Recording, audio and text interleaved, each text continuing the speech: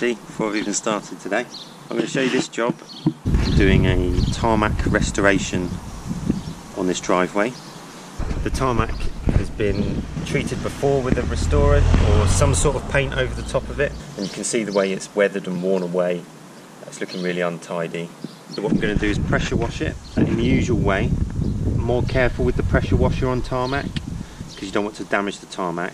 This one's not too bad, there's not too much loose material on the surface but sometimes if it's very loose you don't want to use too much pressure so that you break it up any more than it already is. So we're going to clean it, get it as clean as possible, and then I'm going to come back when it's dry and apply ResiBlock Tarmac Restorer. I'm going to paint that over the top and get it looking like new. So I finished my tea, put my wellies on. Who doesn't love a good pair of wellies? And um, get cracking.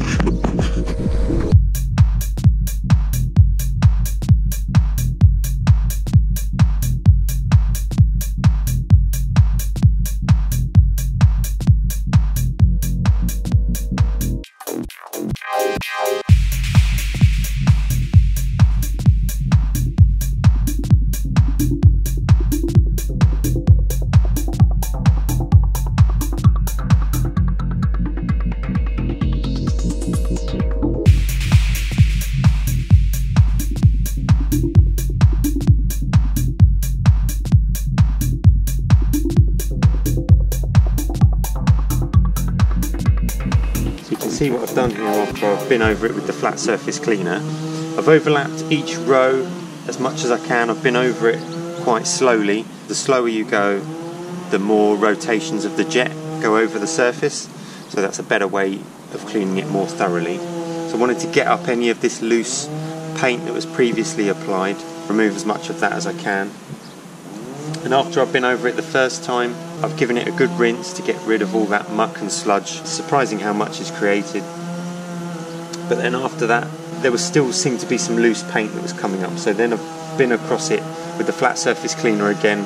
Not so thoroughly this time, but in the opposite direction, just to try and remove some of that loose paint and seem to have got even more off there. So I'm really pleased with that. So I'm going to leave it to dry out and I'll be back tomorrow to apply the new coating over the top. So today I'm going to be painting the drive with the Resimac Tarmac Restorer. The drive's come up really nice. There's no loose material on top. I've managed to remove most of the paint that was there previously, so I'm pretty confident I'm going to get good adhesion with the Resimac. In preparation for painting on the Tarmac Restorer, I've been around the edges and filled any holes with the tarmac repair and then I've also been around the edges and taped off the edges because this tarmac paint can be pretty messy stuff. So I've got overalls using a paint roller and, and scuttle bucket which I use just for tarmac. So let's see how we get on.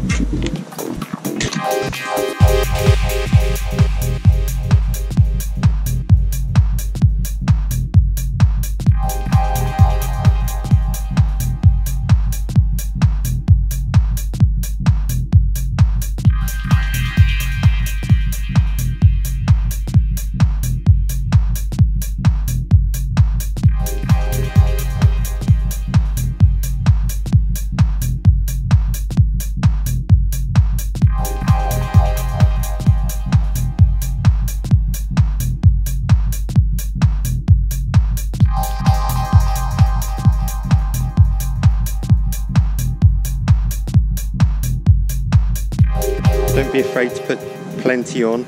You really want to make sure that it gets right into all the pitted areas, right into all those little dips, so that you get a nice complete coverage. So that can mean that sometimes, if it's a very pitted surface, you might need more than you calculated for. This one isn't too bad, but I've actually used a little bit more than I thought I would. But what a fantastic result! How about that? What a transformation, as with a lot of the other sealants I've used it really makes a big difference to the property. Makes the driveway look really smart. So really pleased with that. Hope you found the video helpful.